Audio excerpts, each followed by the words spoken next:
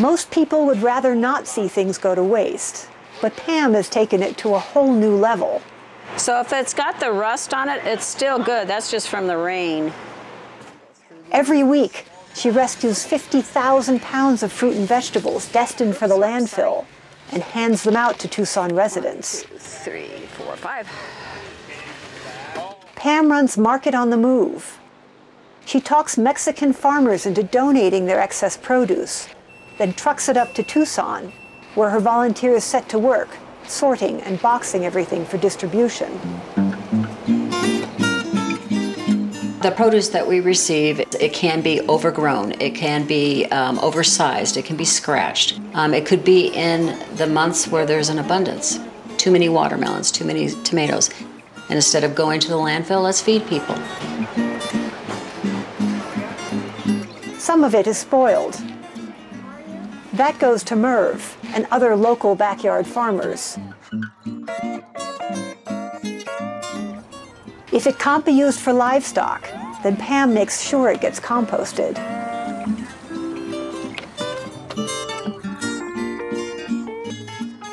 Most of it, anyway. I think I want to grow that. You can't move 50 tons of produce without a lot of help. I have the best volunteers in the whole world. I tell you, I can't live without these guys. They make my world rock. They are hardworking. They are crazy. You have to be crazy to work with me. And they make my life so enjoyable.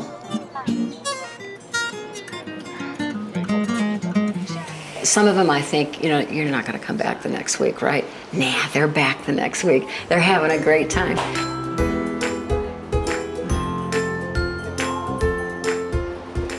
What makes these volunteers work this hard, hour after hour? They all believe passionately in feeding people, but it's more than that. They're like a great big family, from the newest volunteer to the warehouse cat. Pam rescued him, then found out he was she and she was pregnant.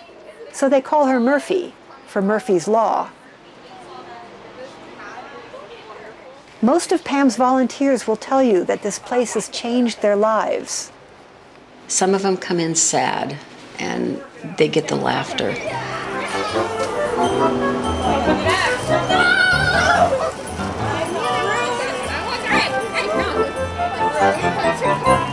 Some of them, you know, they're sitting at home doing nothing. So it's just purpose, and the purpose can be fun. Others didn't have much choice. With some of the volunteers, they come in at a higher risk because of what they've um, probably had happen to them or what they've experienced in life. Now you just accept them. I have failed at many, many things in my life. I have learned to rebuild it. I have had people give me a chance to rebuild. And that's how I try and treat my, my volunteers that are coming in because they're family now. You let them run with it, and where they fail, you're there to pick them up or help, you know, give them a, a shoulder to cry on. College, whatever you want to do, military, I don't care. We'll support you in what we can do, okay?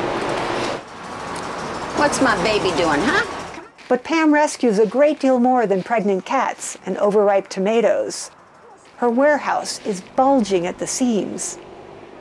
Everything from fizzy drinks to Christmas wrapping paper. Pam sends it out to food banks, nonprofits, and the public. There's even a corner where you can come in and fill a bag for $5.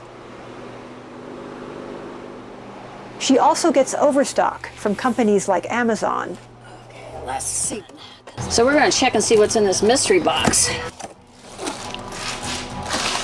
So these are filters. Graduation advice cards. Knee pads. She also gets a lot of donated, secondhand computers.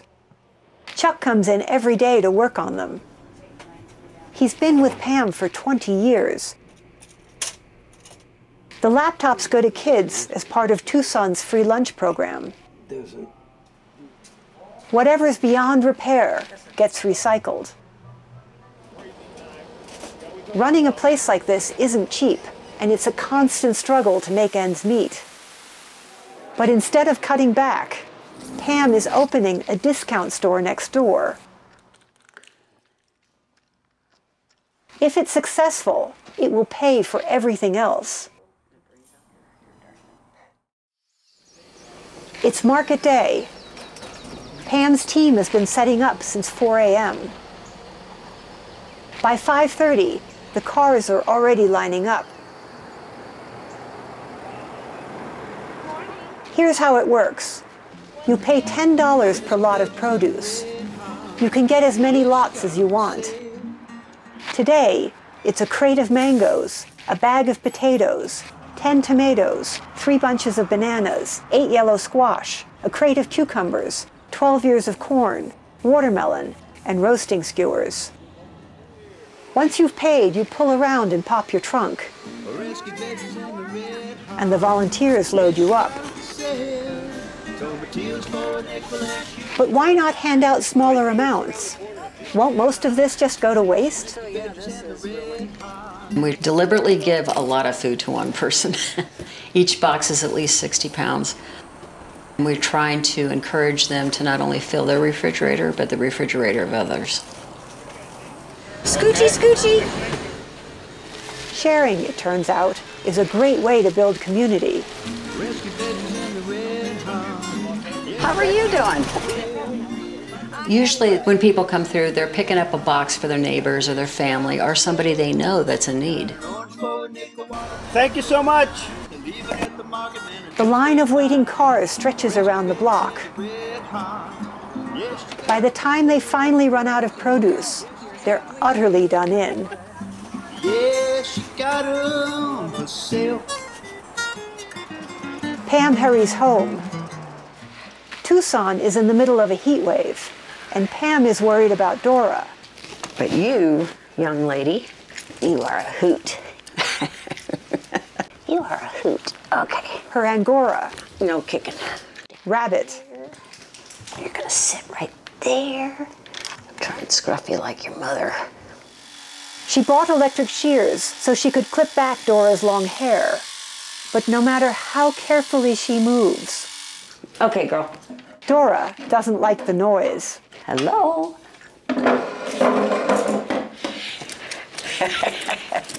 okay. So she digs up a pair of scissors and sets to work. Dora belonged to a local veteran who couldn't keep her anymore. But she's not Pam's only rescue. She has seven turtles who come when called. Most showed up on her doorstep with broken shells. And a couple cats. Pam will give Dora's clippings to a friend who spins. There you go. How's that, huh? You're free? And finally, the chance to relax. It's July 4th, and Pam's going to the park to celebrate with friends. They do this every year. Most of them have known each other since they were kids. They always play croquet, but this time there's a twist. Pam has asked them all to bring a pair of pantyhose. They have no idea what she wants them for, but it's Pam, so of course they all say yes. You put the croquet ball down one leg of the hose This is not gonna go. and use it as a mallet. I need to use my. Oh, I see it. Ready? You're not supposed to use your hands. We hit it out. It's harder than it looks. Look, it's easy. He throws it in there. and more dangerous. Yay! Hey, sweetheart. Hey. Okay. Mick is Pam's fiance. And then, do I use two hands? He loves to laugh and doesn't care if he looks silly. Clearly, he and Pam belong together. Once they're done, Pam shares her newest concoction homemade banana rum. Salute, baby. She brewed it from a batch of overripe bananas, that were in danger of going to the compost. Gotta be a banana. Tomorrow she'll be back to work, but Pam's okay with that. When I look in the mirror in the morning, I'm happy. When I look in the mirror at night, brushing my teeth, I'm happy. Tacky. I need tacky. I need tacky worse than this. I need tacky. And the gal was Yeah, she got a for sale. Rescue bitches in the red Yeah, she got a for sale. Got cukes for a nickel, tomatills for a dime. They're coming in from Nogan and I just ain't blind. Rescue veggies in the red hot.